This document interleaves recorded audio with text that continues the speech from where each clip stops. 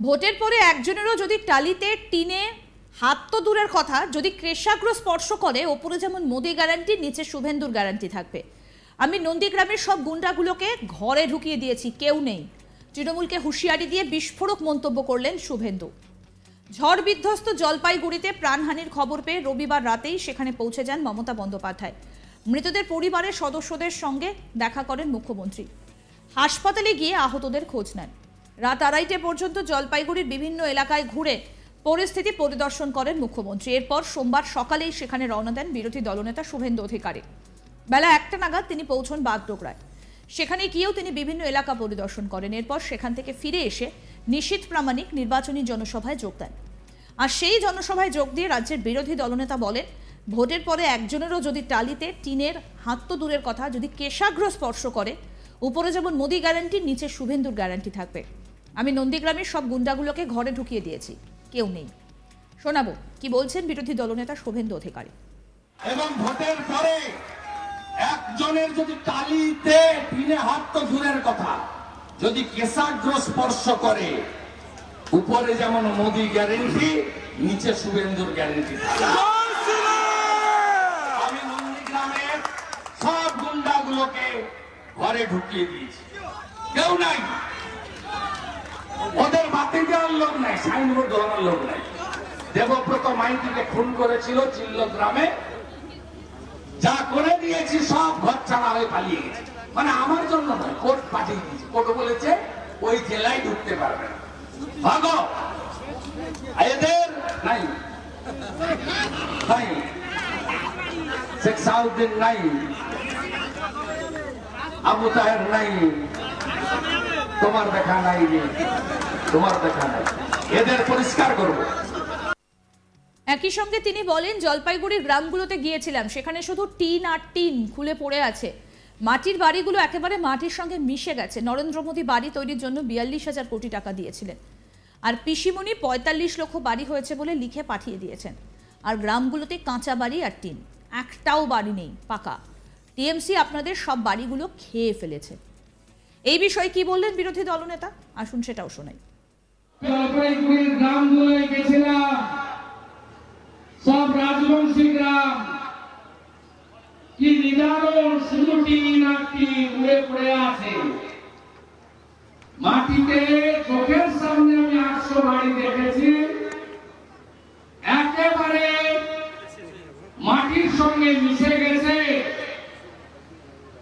অত্যন্ত বেদনা নিয়ে এই দৃশ্য দেখে আপনাদের কাছে এসেছি আমি তাদের প্রশ্ন করেছিলাম, নরেন্দ্র মোদীজি, রাজধর্ম পালন করে বিয়াল্লিশ হাজার কোটি টাকা দিয়েছেন, পঁয়তাল্লিশ বাড়ি তৈরি হয়েছে বলে পিসিমণি লিখে পাঠিয়ে দিয়েছেন আর গ্রামগুলোতে শুধু কাঁচা বাড়ি আর টিন একটাও পাকা বাড়ি নেই চোর তৃণমূল আপনাদের সব গাড়িগুলো খেয়ে ফেলেছে তাই এই নির্বাচনে বদলের ডাক দিয়ে বিধানসভার বদল, রাজ্যের বদল, তার আগে কোচবিহার থেকে পুনর্বার নিশ্চিত প্রামাণিককে জয়ী করার আবেদন নিয়ে আপনাদের দুয়ারে আমি হাজির হয়েছি। শুভেন্দু জানান, এই কঠিন পরিস্থিতির মোকাবিলা করতে গুরুত্বপূর্ণ ভূমিকা পালন করতে হবে বিভিন্ন স্বেচ্ছাসেবী সংগঠনগুলিকে। কারণ রাজনৈতিক কর্মী এবং জনপ্রতিনিধিরা এই মুহূর্তে নির্বাচনী বিধির আওতায় পড়ছেন।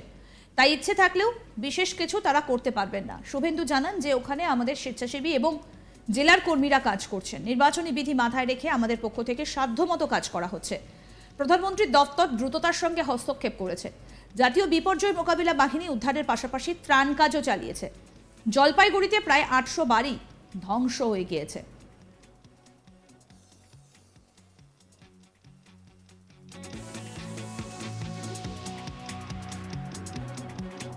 শুভেন্দু অধিকারী বলছেন, ওপরে যেমন মোদির গ্যারান্টি, নিচে তেমনি শুভেন্দু অধিকারীর গ্যারান্টি।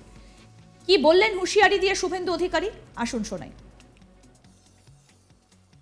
ভোটের পরে একজনের যদি টিনে হাত, তো দূরের কথা। যদি কেশাগ্র স্পর্শ করে উপরে যেমন মোদি গ্যারেন্টি নিচে শুভেন্দুর গ্যারেন্টি আমি নন্দীগ্রামের সব গুন্ডাগুলোকে ঘরে ঢুকিয়ে দিয়েছি। কেউ নাই। ওদের বাতি দেওয়ার লোক নাই সাইনবোর্ড ধরানোর লোক নাই। দেবব্রত মাইতিকে খুন করেছিল চিল্ল গ্রামে যা করে দিয়েছি সব ঘর ছাড়া হয়ে পালিয়ে গেছে। মানে আমার জন্য নয়, কোর্ট পাঠিয়ে দিয়েছে। কোর্ট বলেছে, ওই জেলায় ঢুকতে পারবে না। এদের নাই। নাই। শেখ সাউদ্দিন নাই।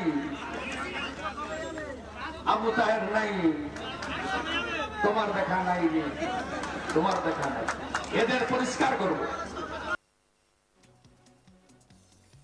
ভোটের পরে একজনেরও যদি টালিতে টিনের হাত তো দূরের কথা, যদি কেশাগ্র স্পর্শ করে, উপরে যেমন মোদি গ্যারান্টি নিচে শুভেন্দুর গ্যারান্টি থাকবে। আমি নন্দীগ্রামের সব গুন্ডাগুলোকে ঘরে ঢুকিয়ে দিয়েছি, কেউ নেই।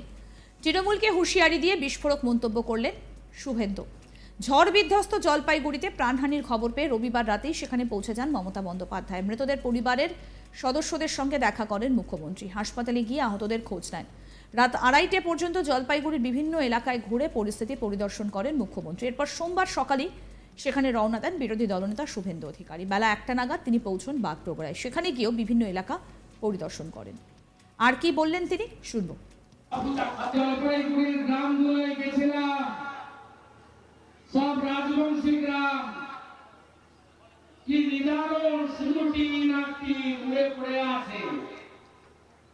মাটিতে চোখের সামনে আমি আটশো বাড়ি দেখেছি একেবারে মাটির সঙ্গে মিশে গেছে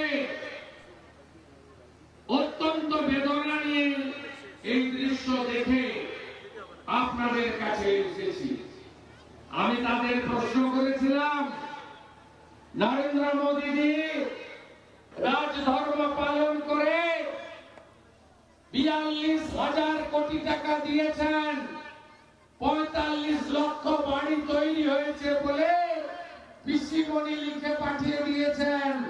আর গ্রামগুলোতে শুধু কাঁচা বাড়ি আর টিন, একটাও টাকা বাড়ি নেই। চোর তৃণমূল আপনাদের সব গাড়িগুলো খেয়ে ফেলেছে